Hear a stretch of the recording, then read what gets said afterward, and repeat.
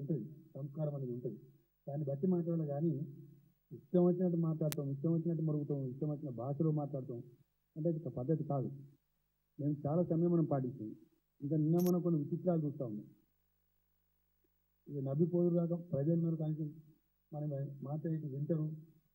ఆయన సిగ్గు కూడా లేకుండా మాట్లాడుకుంటున్నాం. టీఆర్ఎస్ అధికార దుర్వినియోగం పద్దెనిమిది ప్రతి ప్రచారానికి కూడా కాదు నేనే చేస్తాను మంత్రులు కూడా ఇవాళ జిల్లాల వాళ్ళు పరిమితమైన తప్ప వేరే ఎక్కడ కూడా పోలేదు. ఈవెన్ రామారావు కూడా మున్సిపల్ నుంచి కూడా ఆయన కూడా పోలేదు. ఆయన అక్కడ దావోస్లో పోయిస్తున్నాడు జయనగరం అక్కడ అక్కడ కూడా కలిసి. ఇవాళ మేము పెద్ద ప్రచారానికి పోయింది బయటకు పోయింది నేను హానెస్ట్గా చెప్తా ఉన్నా ఒక డిసిప్లిన్లో బతికిన వాళ్ళం మొదటి నుంచి కూడా. ఒక క్రమశిక్షణ అలవాటు అయిన వాళ్ళం. అసెంబ్లీ ఎలక్షన్లో కూడా నేను ప్రగతి భవన్లో నా కార్యాలయానికి పోలేదు. ఐ డి నాట్ గో ఒక్క జిల్లా కలెక్టర్తో కూడా నేను ఒక ఫోన్లో మాట్లాడలేదు.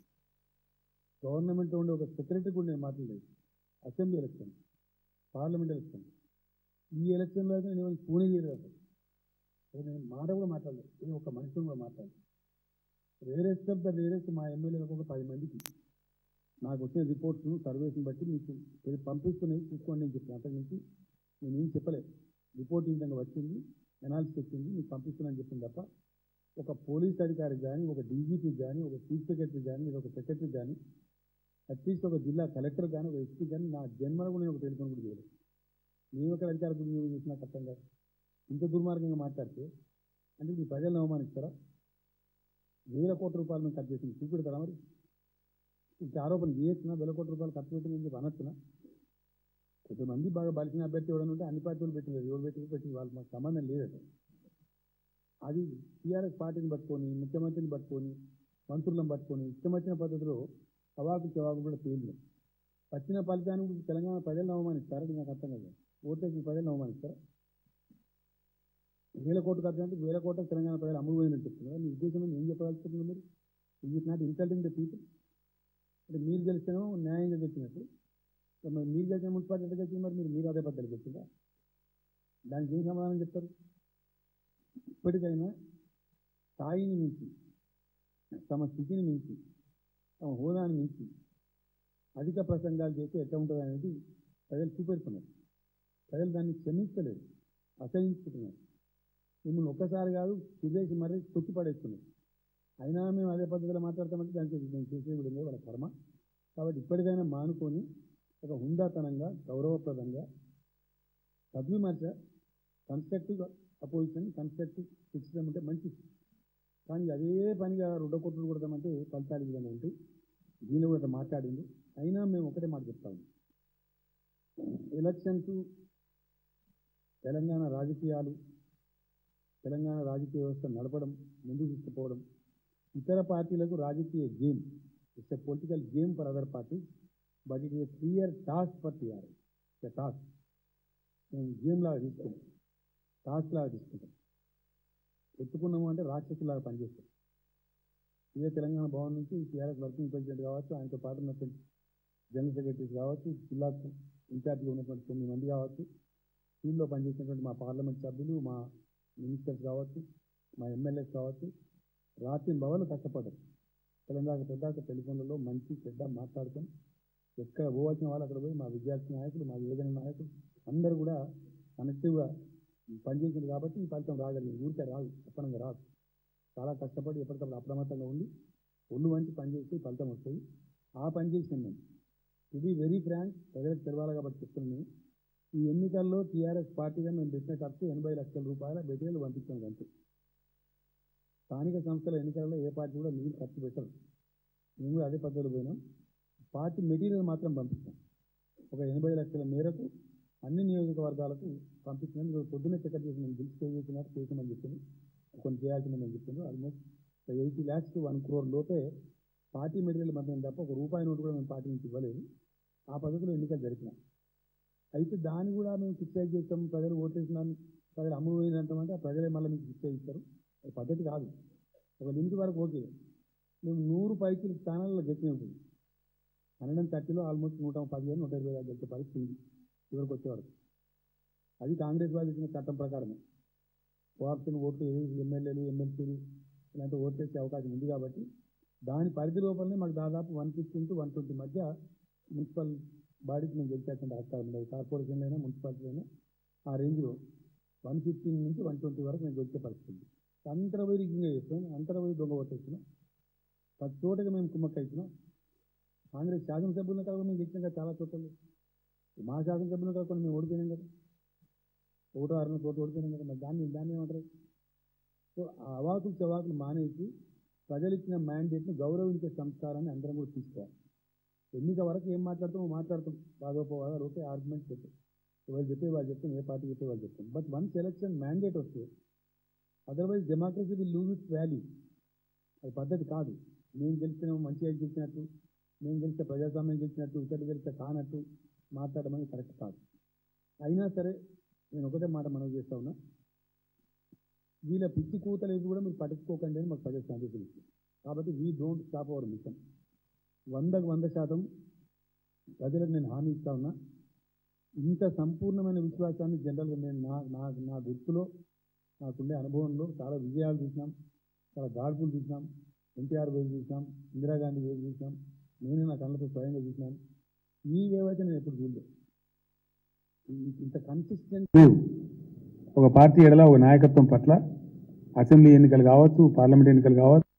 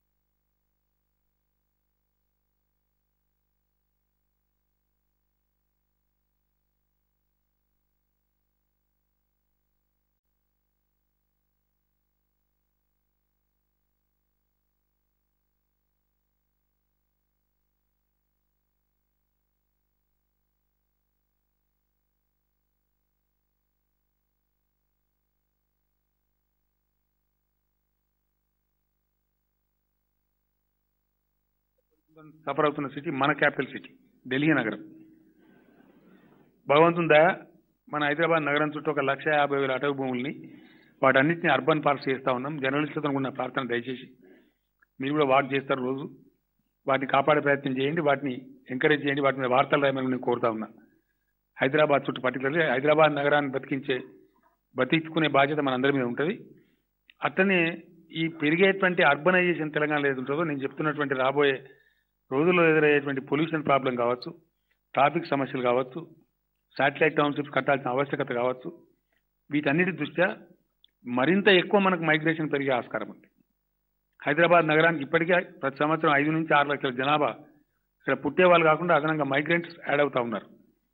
ఇప్పుడు ఇండియా అంతా వచ్చి మన హైదరాబాద్ మీద పడతా ఉన్నారు ఇప్పుడు. నిన్న మొన్న మీరు పేపర్లలో చూస్తున్నారు. ఈయన పోయి దావోస్లో కూడా బాగా ప్రచారం కొట్టేచ్చిండ్రు. దాంతో ఇంకా దేశమంతా బయలుదేరేటట్టుంది. వీళ్ళు వీళ్ళేమో సంతోషపడుతూ మేము పెట్టుబడులు తీసుకుని నేనేమో భయపడతా ఉన్నా. ఎందుకంటే మంచినీళ్ళు తెచ్చి ఆరు లక్షల మంది సడన్గా ఏడాది ఏడికెళ్ళి ఇవ్వాలి నీళ్ళు? పైప్ లైన్ పెంచాలి సైజు పెంచాలి ఇక్కడికి వెళ్ళి తేవాలి ఇక్కడ తేవాలి? రోడ్డు పెంచాలి నీ ఫ్లైఓవర్ పెంచాలి ప్రతి ఒక్కటి పెరిగా పెరగాల్సి వస్తుంది. సివిల్ సప్లైస్ పెంచాలి? వచ్చి జాయిన్ అవ్వడం కూడా జాయిన్ అయిపోతారు. మా ఎవరికి అర్థం కాకుండా జాయిన్ అయిపోతారు.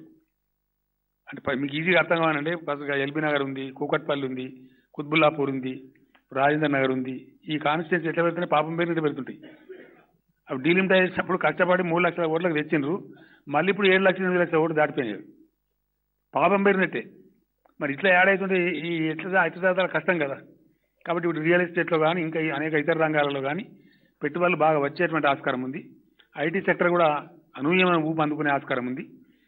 పారిశ్రామిక విధానంలో కూడా మంచిగా ఉంది కాబట్టి చాలామంది వచ్చేటువంటి ఆస్కారం ఉంది.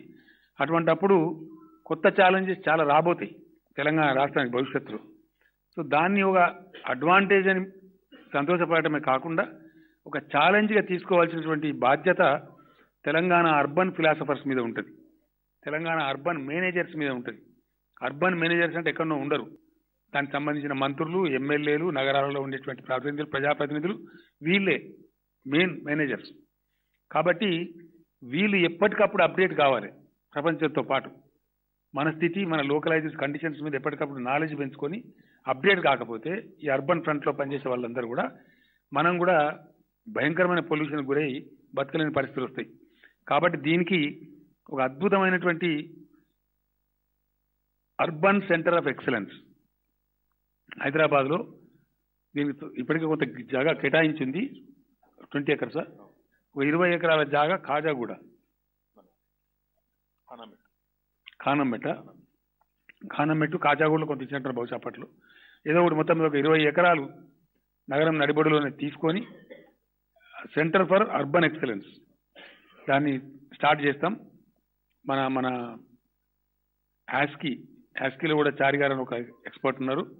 అట్లే మొత్తం వరల్డ్ వైడ్ ఉండే ఎక్స్పర్ట్స్ కానీ కంట్రీ లెవెల్లో ఉండే ఢిల్లీలో ఉండేటువంటి అర్బన్ ఎక్సలెన్స్ సెంటర్ ఒకటి ఉంది వాళ్ళని కానీ పిలిపించి ఈ పురపాలక అర్బన్ డెవలప్మెంట్ మినిస్ట్రీ ఆధ్వర్యంలో నిరంతర అధ్యయన తరగతులు నిరంతర పరిశోధన కార్యక్రమాలు ఏర్పాటు చేసే విధంగా ఏర్పాటు చేస్తాం. అక్కడనే వీళ్ళకు ట్రైనింగ్ కూడా ఇచ్చేటువంటి ఏర్పాట్లు కూడా చేస్తాం. సో వీళ్ళకి ఇక్కడి నుంచి డెలిగేషన్స్ విదేశాలకు పంపడం వేరే నగరాలకు పంపడం ఎక్స్పీరియన్స్ తీసుకొని రావడం అట్లాంటి కార్యక్రమాలు చేస్తాం. అదేవిధంగా తెలంగాణ ప్రజలకు నేను మనవి చేస్తా ఉన్నా మీరు ఇంత విశ్వాసం ఇంత కాన్ఫిడెన్స్ మా మీద చూపుతా ఉన్నారు. మేము మీ ఎడల సదా కృతజ్ఞులమై ఉండాలి. మీకు ఇచ్చిన మాటలు మేము నెరవేర్చాలి. అయితే ఎన్నికలలో సాధారణ ఎన్నికల్లో మేము ఇచ్చిన హామీలు కొన్ని పెండింగ్లో ఉన్నాయి. అందులో ముఖ్యంగా యాభై ఏడు సంవత్సరాలు దాటిన వాళ్ళకు పెన్షన్ ఇస్తామని చెప్పినాం. డెఫినెట్గా ఈ బడ్జెట్లో వాళ్ళకు నిధులు పొందుపరిచి మార్చ్ థర్టీ ఫస్ట్ తర్వాత థర్టీ ఫస్ట్ మార్చి నుంచి ఈ రాష్ట్రంలో ఉన్న ఫిఫ్టీ సెవెన్ ఇయర్స్ దాటిన ప్రతి వాళ్ళకు కూడా ఆడ కావచ్చు మగ కావచ్చు అందరికీ వృద్ధాప్య పెన్షన్లు అందజేస్తాం. రెండు వేల పదహారు రూపాయలు. అంద ఇతరులకు ఇస్తున్నట్టుగా వాళ్ళకు కూడా అందజేస్తాం. ఈ బడ్జెట్లోనే దానికి నిధులు కూడా కేటాయిస్తాం. దాని సంఖ్య కూడా నాకు తెలిసి ఇదమిద్దంగా ఖరారైంది. షార్ట్లీ మేము క్యాబినెట్ మీటింగ్ కూడా పిలుస్తాం. అవసరమైతే మా మంత్రుల ఆధ్వర్యంలో క్యాబినెట్ సబ్ కమిటీ వేసి వెల్ఫేర్ మినిస్టర్స్ ఆధ్వర్యంలో వేసి ఈ నిర్ణయం తీసుకొని ఈ ఫిఫ్టీ సెవెన్ ఇయర్స్ వాళ్ళది చేస్తాం. అదేవిధంగా మా ఉద్యోగులకు తెలంగాణ ప్రభుత్వ ఉద్యోగులు కూడా నేను హామీ ఇచ్చినను వాళ్ళ ఏజ్ లిమిట్ పెంచుతామని చెప్పినాం. ఉద్యోగ ప్రభుత్వ ఉద్యోగస్తుల యొక్క వయో పరిమితిని పెంచుతామని హామీ ఇచ్చినాం. డెఫినెట్గా షార్ట్ పీరియడ్లోనే ఆ పీఆర్సీ రిపోర్ట్ కూడా తీసుకొని ఆ ఉద్యోగులకు వాళ్ళకి ఇచ్చినటువంటి వయోపరిమితి హామీని కూడా ప్రభుత్వం తప్పక నెరవేరుస్తుంది. పీఆర్సీ ఎంతో కొంత పెంచాలని వాళ్ళు ఆశిస్తారు కానీ మనమేమో మైనస్లో పోతున్నాం. చాలా భయంకరంగా ఉంది పరిస్థితి. భయోత్పాతంగా ఉన్నది. ఆ ఢిల్లీలో ఉన్న కేంద్ర ప్రభుత్వం చక్కగా పనిచేస్తలేదు. ఎందుకు పనిచేస్తలేదో అర్థమైతలేదు వాళ్ళకు మరి ఆలోచన సరిగా కూడా ఉన్నట్టు లేదు. వాళ్ళ ఆలోచన సరళి కూడా క్రమంగా లేదు. అది ముందుకు చెప్తా నేను. మన రాష్ట్రానికే దాదాపు ఐదు వేల కోట్ల రూపాయల బకాయిలు ఉంటారు వాళ్ళు. ఐదు వేల కోట్లు జిఎస్టీ కింద సుమారు ఆ లెక్కలు కూడా చెప్తాను నేను ఫిగర్స్ నేను నా దగ్గర. నేనే మొన్న పార్లమెంట్ సమావేశాలు జరిగే సందర్భంలో మా పార్లమెంట్ సభ్యులందరికీ చెప్పి గాంధీ బొమ్మ కాడ నామగారి ఆధ్వర్యంలో మా కేశవరావు గారి ఆధ్వర్యంలో అటు గాంధీ స్టాచ్యూ దగ్గర కానీ హౌస్ లోపల కానీ రాజ్యసభలో కానీ లోక్సభలో కానీ పెద్ద గోలెత్తినాం మేము. మమ్మల్ని ఎందుకు ఇతర రాష్ట్రాల వాళ్ళు అందుకున్నారు? అట్లా అని చెప్పి ఒక ముప్పై నాలుగు వేల కోట్లు రిలీజ్ చేసిన కంట్రీలో జిఎస్టీ బకాయిల కింద. తర్వాత ఇంకా కూడా పదకొండు వందల ముప్పై ఒక కోట్లు మన రాష్ట్రానికి రావాల్సింది. మొన్న మొన్న ఇచ్చిన రిలీజ్లో తెలంగాణకు ఒక వెయ్యి కోట్లు ఇచ్చింది ఓన్లీ థౌజండ్ క్రోర్స్ వచ్చింది. ఇంకా లెవెన్ థర్టీ వన్ క్రోర్స్ ఇప్పుడు రావాల్సింది. బహుశా రేపు ఎల్లుండో నేను లెటర్ కూడా రాస్తాను. ప్రైమ్ మినిస్టర్ గారికి ఫైనాన్స్ మినిస్టర్ గారికి. ఈ విధంగా పరిస్థితి ఉంది. తర్వాత ఐజీఎస్టీ కింద రెండు వేల ఎనిమిది వందల పన్నెండు కోట్లు రావాలి తెలంగాణ రాష్ట్రానికి. అవి ఇతరా ఎగబెడతారా? వాళ్ళ డంబాచారం ఎక్కువ ఉంది బయట చెప్పుకోవడం. మాటలు కోడలు దాటితే కాలు తంగేలు దాటలేవు అన్నట్టు ఉంది. సెంట్రల్ గవర్నమెంట్ బీజేపీ నాయకుల వ్యవహారం. ఈ విధంగా ఉంది పరిస్థితి. కాబట్టి అంత ఈ మరి పీఆర్సీ అంటే గిట్లున్నది కథ. జీతాలు ఇస్తే డబ్బులు కావాలా? ఎక్కడి నుంచి తేవాలా? కన్ఫ్యూజన్ ఉంది. సో పిలిచి మాట్లాడతాను. నేనే పిలిచి స్వయంగా ఉద్యోగస్తులతో మాట్లాడి తృణమో పనమో పెంచాలి మరి తప్పదు. వాళ్ళు పాపం ఆశపడతారు. కష్టపడే ఫోర్స్ కాబట్టి మాకు ఎంతో కొంత మాకు పెంచకపోతే ఎట్లా? లోకమంతా పెంచుతాను కదా అని వాళ్ళు ఆశపడతారు. మరి పరిమితులను బట్టి రాబోయే దాంట్లో ఎంత ఉంటాము ఏముంటాము మన పరిస్థితి ఏంది? కేంద్ర ప్రభుత్వ విధానం చూస్తే చాలా గమ్మత్ గమ్మత్ విషయాలు తెలుస్తా ఉన్నాయి. ఏది నిజమో భగవంతుని తెలుసు. కానీ లెక్కలు తెలుస్తాయి. పార్లమెంట్ సబ్మిట్ చేయాలి కాబట్టి తప్పదు. కాగు చెప్తుంది. ప్రభుత్వం దాచిపెట్టినా కాగు ఆపదు. ఆడిటరీ బాడీ ఉంటుంది కాబట్టి అది స్టాట్యూటరీ బాడీ కాబట్టి దేశం ముందు లెక్కలు పెట్టాల్సి వస్తుంది పార్లమెంట్ల ముందు పెట్టాల్సి వస్తుంది. వాళ్ళ బండారం బయట పడుతుంది. మరి జీడిపి నాలుగు పర్సెంట్ ఐదు పర్సెంట్ మూడు పర్సెంట్ అని చెప్తే అసలు ఏ పర్సెంట్ లేదని కొందరు చెప్తున్నారు. జీడిపి సున్నా అయిపోయింది మొత్తం మునిగిపోయే కార్యక్రమం ఉంది. నెక్స్ట్ ఇయర్ కూడా జీరో ఉండే పరిస్థితి ఉంది. అండ్ ఇప్పుడు ఏమైందంటే ఐదు సంవత్సరాలు ప్రజలకు కూడా తెలియాలి కాబట్టి నేను మీ ద్వారా నేను మీ అందరికీ విజ్ఞప్తి చేస్తా ఉన్నా. చాలా ఇంపార్టెంట్ సబ్జెక్టు మీరు రాయాలని కోరుతా ఉన్నా టీవీ మిత్రులు కూడా చెప్పాలని కోరుతా ఉన్నా. పోయిన ఐదు సంవత్సరాలు తెలంగాణ రాష్ట్రం ఎంత ఎంజాయ్ చేసిందంటే ఇండియాలో నంబర్ వన్ మనం. ఎన్- వట్టిగా నంబర్ వన్ పొలిటికల్ డైలాగ్ కాదు లెక్క నేను చెప్పేది. కాగు లెక్క నా లెక్క కాదు. సంవత్సరం పైన సంవత్సరం సంవత్సరం పైన సంవత్సరం చక్రవడ్డీ బార్బడ్డి అంటాం కదా ఆ టైప్లో ఇయర్ ఓవర్ ఇయర్ ప్రతి సంవత్సరం ఇరవై ఒక్క పర్సెంట్ మన పెరుగుదల ఉండే. Twenty one percent. ఇది comptroller and auditor general of తేల్చిన లెక్క నా లెక్క కాదు ఇది. ఆడిట్ రిపోర్ట్ కాగ్ రిపోర్ట్ ఇది. ఒక రెండు వందల కోట్లు మూడు వందల కోట్లు శాంక్షన్ చేయడానికి నేను వెనక ముందు కూడా చూస్తాను కాదు. ఆలంనారాయణ గారు సందర్భం అంటే వంద కోట్లు జర్నలిస్టులకు ఇచ్చేసాం ఒక నిధి పెట్టుకున్నాం. దాంతో కొంత మంచి పని జరుగుతూ ఉంది. కొంతమంది జర్నలిస్టులకు సాయం జరుగుతూ ఉంది. అంత ఈజీ ఉండేది. కానీ ఇప్పుడు ఒక రూపాయి అంటే పది రూపాయలు ఉంటే బండి బండి చీరలా కనబడతా ఉంది. భయం అయితే శాంక్షన్ చేస్తే చేస్తాం కరెక్టే. డబ్బులు అమలు కావాలి కదా. చాలా విపత్కరమైన పరిస్థితి ఉంది.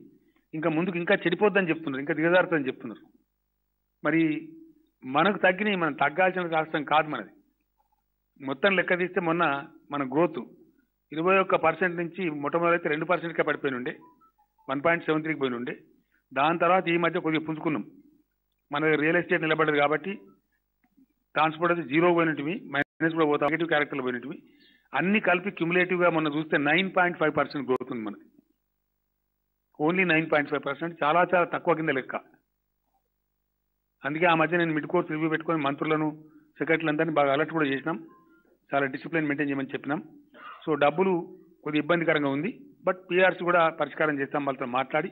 వాళ్ళు వాళ్ళు వాళ్ళకి తెలుసు కాబట్టి వాళ్ళు గవర్నమెంట్లో ఉన్నారు మా ఉద్యోగస్తులు. వయో పరిమితి పెంచుతూ ఎంతో కొంత తృణమో పనమో పీఆర్సీ కూడా పెంచుతూ త్వరలోపల ఆ డిసిషన్ కూడా తీసుకొని ఉద్యోగులకు ఇచ్చిన మాట కూడా దాన్ని నిలబెట్టుకుంటాం. అదే పద్ధతిలో తెలంగాణ హెల్త్ ప్రొఫైల్ కోసం కార్యాచరణ మొదలు పెడతాం ఇప్పుడు డెఫినెట్గా గతంలో కంటి వెలుగు చాలా సూపర్ హిట్ ప్రోగ్రామ్ అయింది. అది వరల్డ్స్ లార్జెస్ట్ స్క్రీనింగ్ టెస్ట్ అది. ప్రపంచంలోనే అది గొప్ప లార్జెస్ట్ స్క్రీనింగ్ టెస్ట్. ఇది నేను చెప్పలే మొన్న ఒక మీటింగ్లో ఆ L V Prasad institute head Rao garu doctor Rao garu Gollapalli G N doctor G N Rao Gollapalli doctor Gollapalli Nageswararao garu ఒక మీటింగ్లో నాయన నాకే తెలియదు కానీ ఆయన చెప్పిండు. ఆయన ఎక్స్పర్ట్ ఆ ఫీల్డ్లో కాబట్టి ఎల్వి ప్రసాద్ ఐ ఇన్స్టిట్యూట్ అధిపతి garu G N Rao world's largest screening నిర్వహించిన తెలంగాణ రాష్ట్రం. చాలా గ్రేట్ అని చెప్పి ఆయన చెప్పినారు.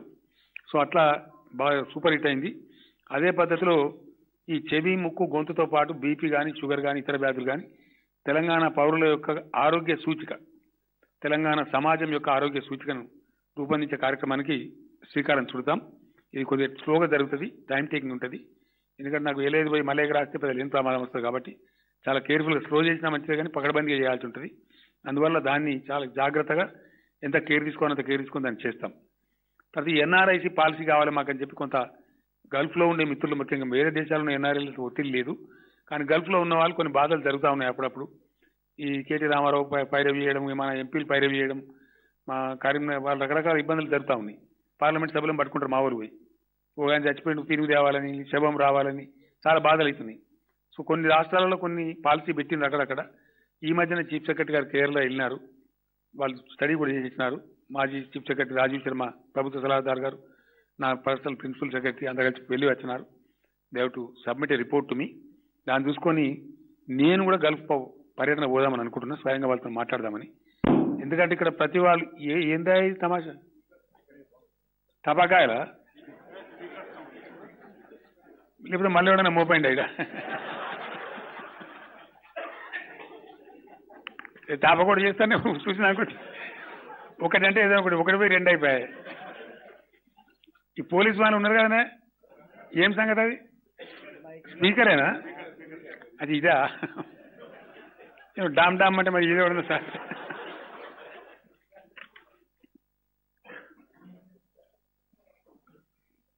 ఈ గల్ఫ్కు సంబంధించి మన వాళ్ళు ఎక్కువ